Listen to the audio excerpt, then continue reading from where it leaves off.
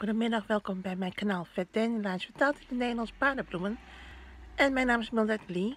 Ehm, ik heb allemaal doosjes uit een doos gehaald. En ik ga even een beetje vanuit een beetje uit de hoogte filmen. Ehm, deze had ik zeg maar gevonden in de Action. En als je goed kijkt zie je even deze misschien, dan zie ik misschien beter. Dus ik heb hier eigenlijk twee kleuren uh, voor, voor uh, geplaatst. Um, misschien dat je beter kan zien hier. Deze twee. En het blijkt dat deze een parelmooi wit is. Dat is. Dus eigenlijk heb ik drie kleuren. Ik heb hier drie kleuren. Uh, en toen ik zeg maar zes doosjes had gepakt, zei ik tegen mezelf, Mildred, pak niet alle doosjes uit de schap. Laat een paar gewoon voor een ander. Dus ik heb gewoon de rest gewoon laten liggen. En de volgende kwam ik terug. En toen lagen ze er niet meer. En ik heb echt spijt van dat ik dus niet meer heb gepakt.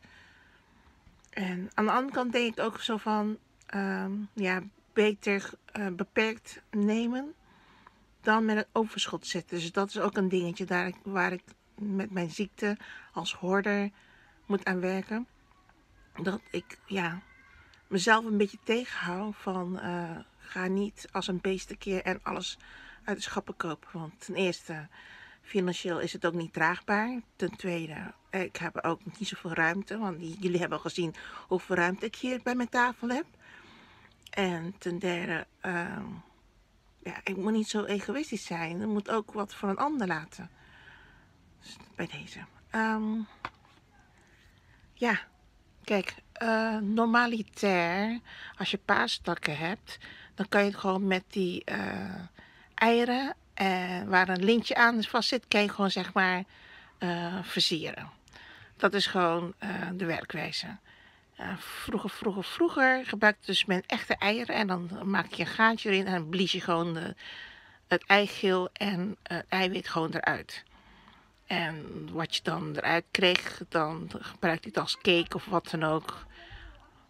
Um, daarna is men overgegaan naar uh, plastic eieren en die je misschien kan verven of versieren, waar ook een lint aan vast zit. Um, maar ik heb volgens mij nog nooit papieren eieren gezien. Met een lint. Dus we gaan even uh, een doos pakken. Nou, deze had ik eigenlijk papier al uh, verwijderd. Want hij was zwaar beschadigd toen ik hem kocht. Dus ik dacht van ja, haal hem gewoon maar eruit. Kijk, hier kan je het ook goed zien.